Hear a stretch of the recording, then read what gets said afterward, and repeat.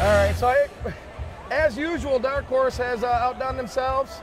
And as uh, tradition here, I'm standing with uh, Aaron Morse and Bryan Wiggs, who, uh, of course, need no introduction, but you guys continue to just up the ante each year, and now we, it appears we have some sort of Gatling gun to take the T-shirt propulsion idea even further this year. What the hell is going on, guys? Yeah, instead of doing one at a time, we can do 20 at a time. You know, it's, Is this going to make a big noise, or what? How, No, explain to me the process it's here. pretty quiet. You just spin it in a circle and it just shoots them out one after one. So, So a whole bunch of people can get shirts instead of just one. Right. You know?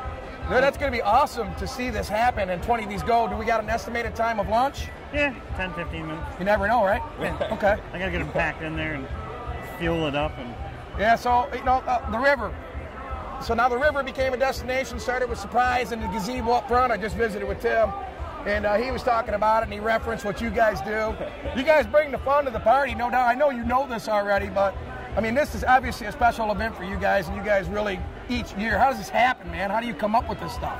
Well, I mean, obviously we got what close to seven thousand people here, but they pay good money to come enjoy a day and drink good beer and whatnot. So you know, the more we can give them, the the funner they'll have, and the you know the better time they'll have for the money they spend. So When these guys showed up, I got here at 10:30. They're already here constructing this tower. They come out here and erect this tower and do this stuff. It's a lot of work, and these guys are already busy making beer. and do- They already got jobs. So I mean, you got to understand what's going on here. Uh, you guys are some kind of uh, Make the people happy. The nation. You know, I mean, you guys are some kind of different relative to that type of thought process, and you just seem to embrace that. And I, I think just hang on tight to whatever Is that- he's got going on. Yeah. So it's just the cart goes, and then you know, watch out, Rick, don't shake the tower. But uh, you guys are on quite a run down there too. And Marshall, by the way, and production. Want to talk a little bit? About, we got some. We've been blessed with more production. Thank you for continuing to put a fortune into that place. yep. So we got we got all the beer we can get now, eh? Uh, you just keep ordering, and we'll keep getting it to you. Growth is great. Yeah. You guys come up with a great beer. So that's what I wanted to talk about is your range and the amount of recipes you have.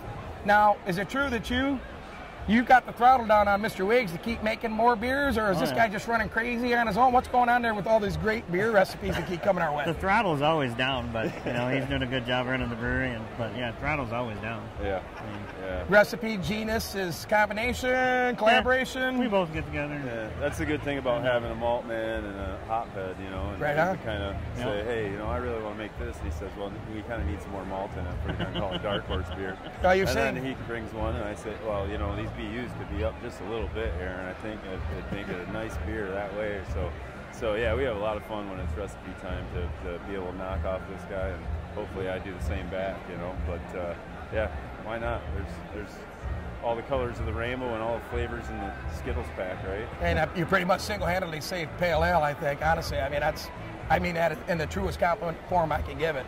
Pale Ale is, uh, you guys do it great, great balance, and you add awesome ingredients to it and passion. And you know, I, Dark Horse is no longer a secret anywhere given their size, but make sure, make sure you demand Dark Horse out there when you're drinking on tap.